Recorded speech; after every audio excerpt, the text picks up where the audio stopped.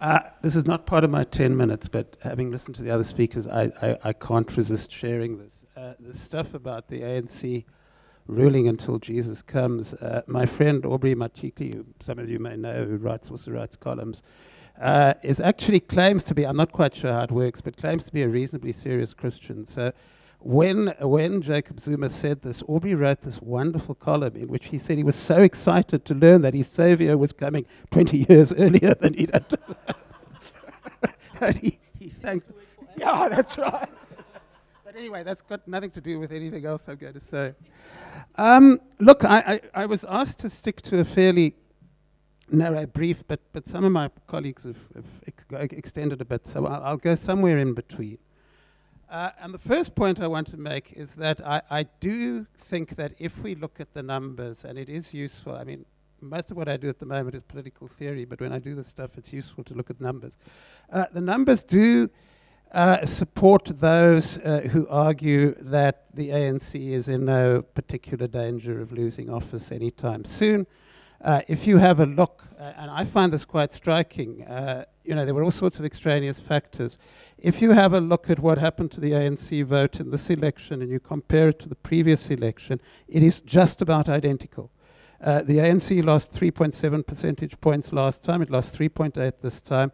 If you work it out as a percentage, it lost 5.6 last time, 5.4 this time. Uh, and that indicates that if the ANC is in decline, uh, then uh, you're talking about a very slow puncture rather than a blowout. Uh, certainly on those statistical trends, uh, the ANC is, in, in, is, is, is safe for, for 15 to 20 years uh, under current conditions. The second point is that, like my colleagues, I, I noticed the urban vote, and I think the urban vote is very interesting. Uh, and like some of my colleagues, I got carried away by the urban vote, and I said the ANC is in trouble in the urban areas.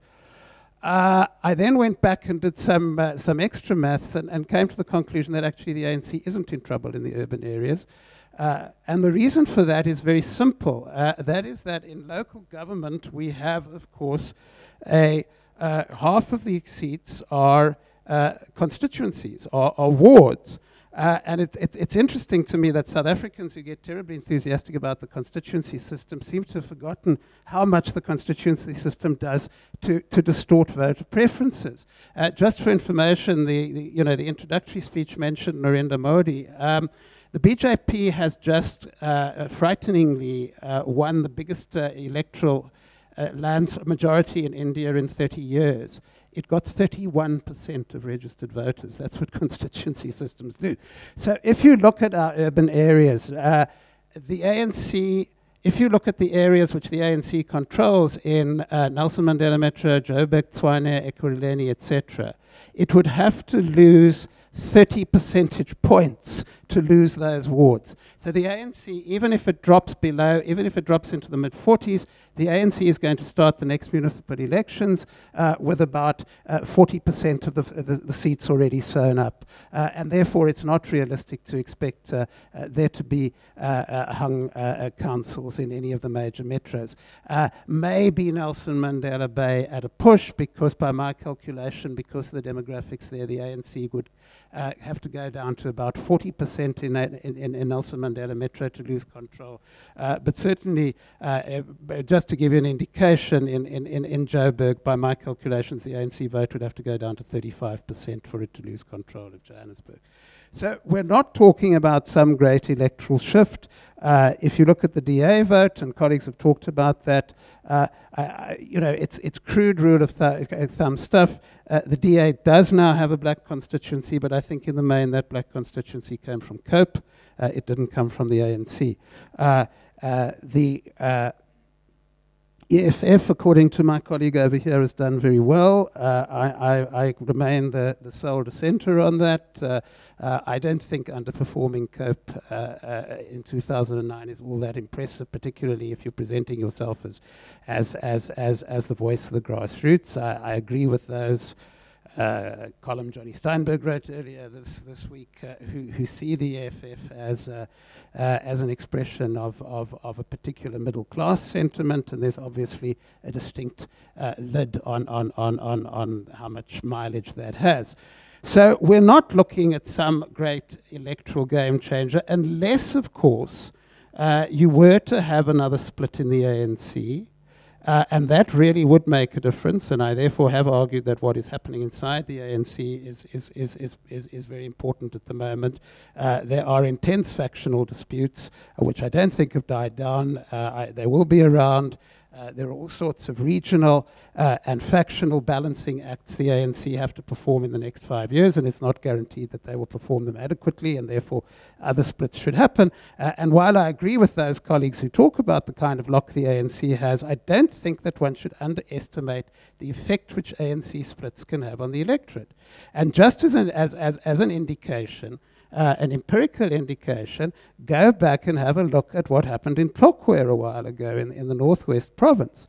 Uh, there was a split in the ANC in Tlokwe. The ANC vote in most wards went down from 90% to 50%, and in three wards it went below 50%, and the ANC lost the wards. So I think that there's a lesson in there, uh, and the lesson is that, you know, if those huge ANC majorities are going to come down, it's going to be because of another split. All of this tends to suggest uh, that a workers' party of, of the kind that NUMSA is talking about uh, has uh, considerable potential. Certainly not potential to get anywhere near a majority, uh, but in theory, a potential certainly to get uh, 10 or 15% of the vote, which would uh, po quite possibly deprive the ANC of a majority. However, that assumes all sorts of things. Uh, it assumes uh, that NUMSA has the kind of roots uh, among the electorate, that it has the organization on the ground, that the, uh, the left wing of the labor movement have that kind of capacity. Uh, and I think that, uh, that, that, that, serious doubts have to be raised about that. So the fact that there is room for a real left-wing party, because I don't see the EFF as a left-wing party. It's, it's in my view, it's a, it's a, it's a right, it's a right-wing nationalist party. Uh, that left-wing space is available, but I think we need to ask serious questions about whether uh, the, the, the, the, the trade union movement in its current state, or the left of the trade union movement in its current state, has the capacity to capitalize on this. Maybe they can make some headway, uh, but I don't. I, I, think one has to be cautious about that. Uh, does that mean uh, that things are, are necessarily simply going to remain the same? Well, not necessarily, um, because uh, I don't think, and, and I would certainly uh, disagree with Nomboniso on one issue, uh, I do think that electoral politics matters, not in the sense uh, that uh, if we have uh, circulation of elites, we, we, we, we, have wonderful accountability and we all live happily ever after. I would agree with you that that, that, that, that, is, that tends to happen more in the abstract than in the concrete.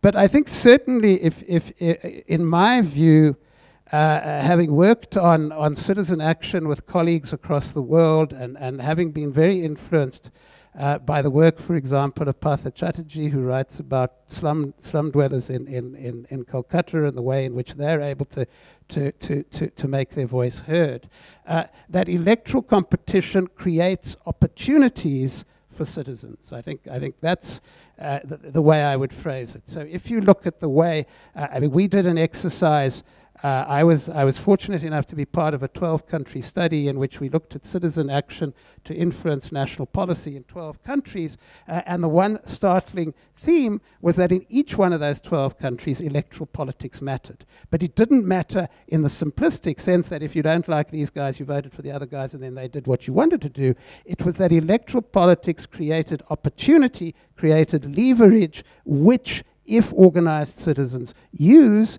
that particular leverage, uh, uh, has certain effects. Uh, I made the point the other day that if you look in our own context, even in a situation uh, of, of, of an ANC lock on, on, on, on, on, on, on national government at one stage, uh, certainly the work I've done on HIV and AIDS uh, suggests that uh, during the darkest period of AIDS denialism in this country, your chances of getting treatment were vastly enhanced if you happened to be in the two provinces where there were electoral competition.